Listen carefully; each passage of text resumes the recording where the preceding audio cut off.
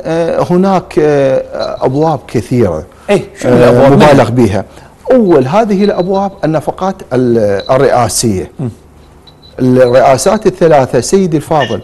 يعني إذا ما تكلمنا على رئاسة الجمهورية تخصيص رئاسة الجمهورية في موازنة عام 2021 كان 62 تريليون. آه، 62 مليار عفوا.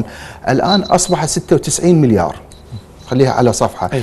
آه، مجلس الوزراء الحكومة بتفاصيلها. آه، كان تخصيصها 425 آه، مليار. الآن 1 تريليون و200 مليون. كله double الرقم. double أو أكثر من double. صح.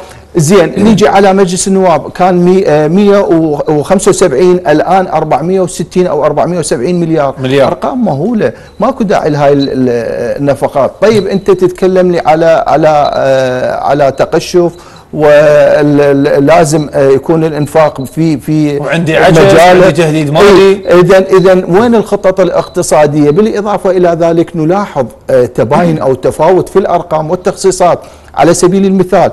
يعني أنا تكلمت آه، على على تخصيص آه، المحافظات 7 تريليون ونص أو 7 تريليون و450 هذا علما آه، هذا أعطي إلى ال ال الوزارات.